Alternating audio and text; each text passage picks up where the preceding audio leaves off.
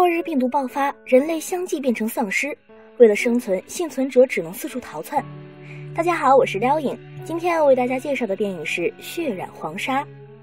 故事发生在美国，一场未知的丧尸病毒让人类濒临灭绝，城市陷入无政府状态，到处充斥着危险杀戮。为了生存，仅存的人类开始出逃。我们的女主 Lisa 为了躲避遍地丧尸，打算和男友大卫开车前往机场，然后乘坐朋友的私人飞机逃往墨西哥。途中，他们的车子意外陷入了沙地。正在两人打电话求救时，远处却缓缓走来了一只穿着西装的丧尸。男友顿时慌了神，他拿出手枪朝丧尸射击，但关键时刻，男友却掉了链子，即便打完了所有子弹，也没有将丧尸击杀。二人只能惊恐地躲在车上，将车窗锁死。西装男趴在车窗外，不断地低吼着。男友认为丧尸失去兴趣后便会离开，但这等待的时间属实有点长，硬是从白天一直等到了深夜。Lisa 忍不住吐槽男友是个废物，那么近的距离都无法击毙丧尸。就在二人争吵之际，丧尸莫名其妙地消失了踪迹。Lisa 赶忙拿出手电筒，在车窗附近寻找丧尸的身影。在确认丧尸离开后，两人连忙下车去捡掉落在地上的手机。月圆当空的晚上，车外寂静无声，二人悄悄地寻找着。Lisa 在车边绕了一圈，最终在路边捡到了手机。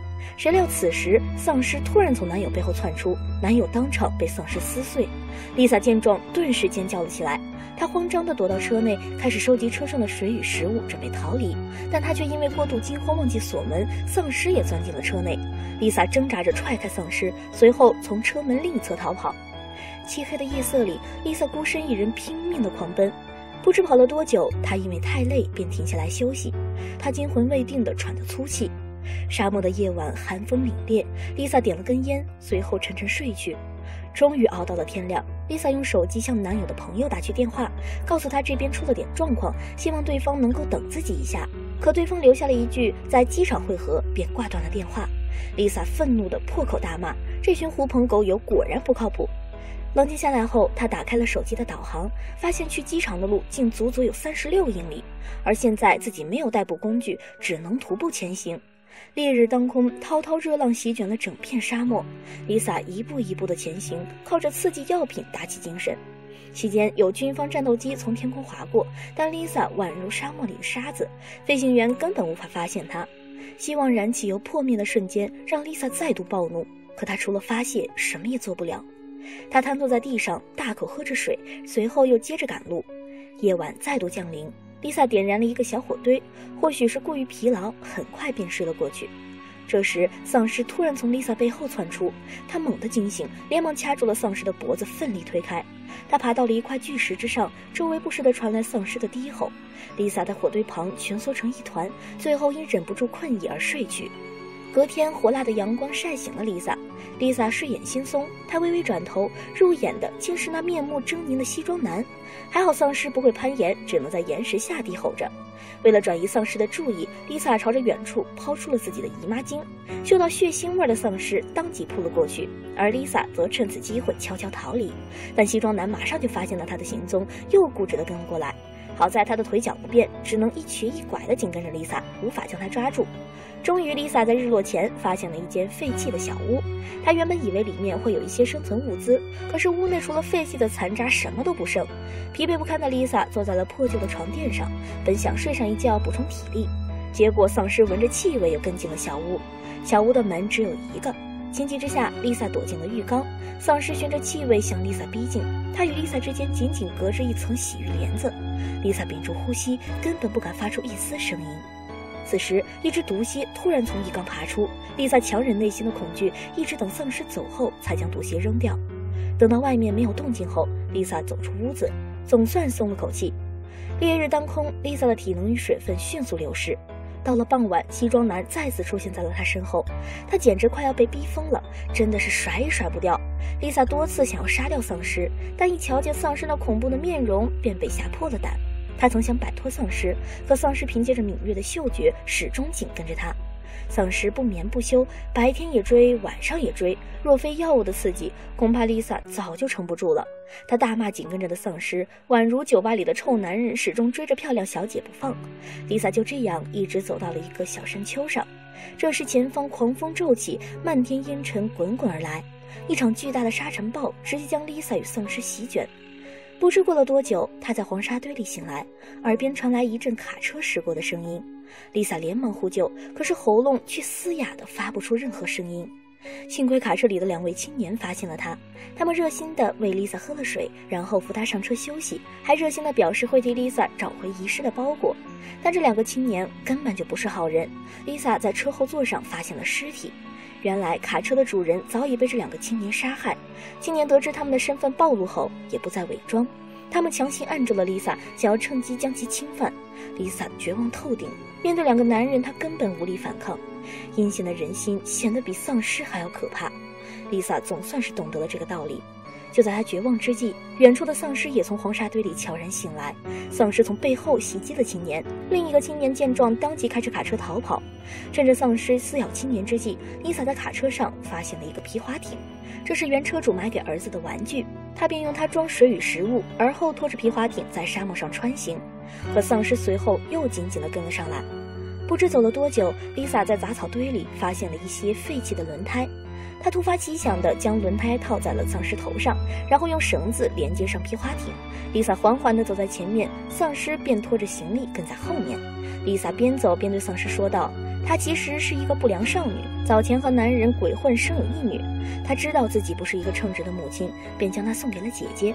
姐姐带着她女儿生活或许会更好。”丽萨也不管丧尸能否听懂。因为如今愿意倾听她诉说苦楚的也只有丧尸了。夜幕逐渐降临，丽萨想办法将丧尸套在了石柱上。她本想抛弃丧尸一人离去，但又感到不忍心，毕竟他们之间也相处了如此之久。当丽萨转身离去时，丧尸竟然跪倒在地上低吼着，声音不仅透露着愤怒，似乎还透露着不舍。丽萨最终还是回到了丧尸面前，怀着试一试的态度对他说道：“如果能够冷静下来，不再碰他，他便替丧尸松绑。”丧尸似乎听懂了丽萨的话，竟然真的安分了许多。丽萨见丧尸似乎通了人性，便带着他继续在沙漠上穿行。他们离机场越来越近，丽萨还惊喜地发现了公路。可当她看到远方驶来军队时，丽萨却慌了神。她连忙将丧尸藏了起来，生怕他被打死。士兵发现丽萨后，热心地想要提供帮助，准备将她带回幸存者基地。丽萨听言，却谎称自己的丈夫在前面等着自己，随便找了个借口将士兵打发走了。没想到丧尸突然从一旁窜出，士兵迅速开枪击中了丧尸，丧尸应声而倒，连中数枪的他再也难以爬起。士兵见状便驱车离去。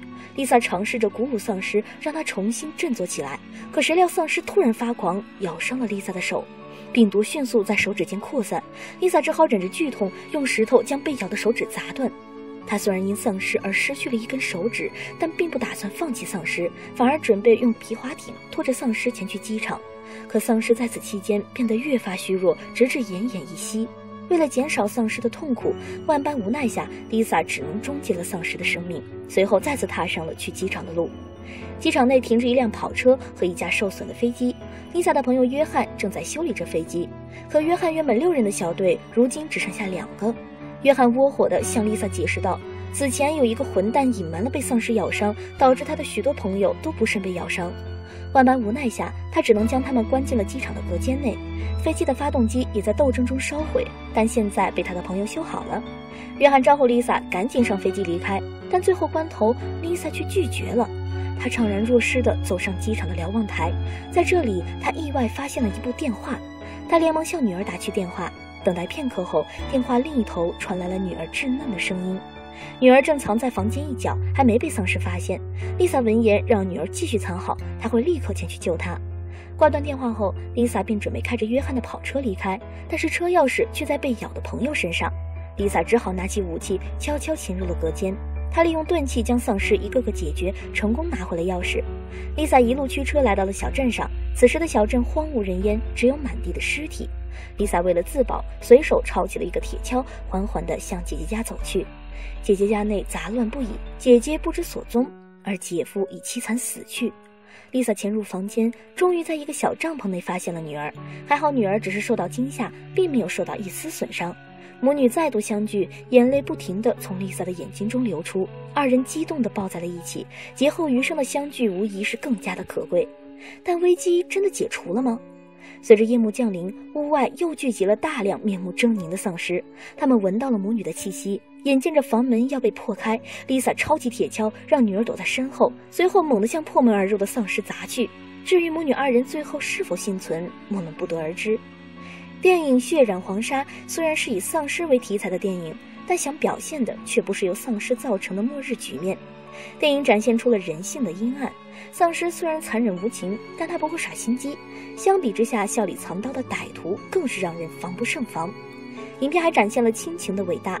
片中，Lisa 此前是一个酒吧小姐，每天过着纸醉金迷的日子。是女儿让她找到了活下去的目的，承担起身为母亲的责任。从影片整体来看，穿过沙漠通向机场的路也是 Lisa 的自我救赎之路。她看透了人心，度过了险恶，更加领悟了生命的意义。总的来说，这是一部视角与见解十分独特的丧尸片，还是值得一看的。好了，今天的电影就为大家介绍到这里，我们下期再见，拜拜。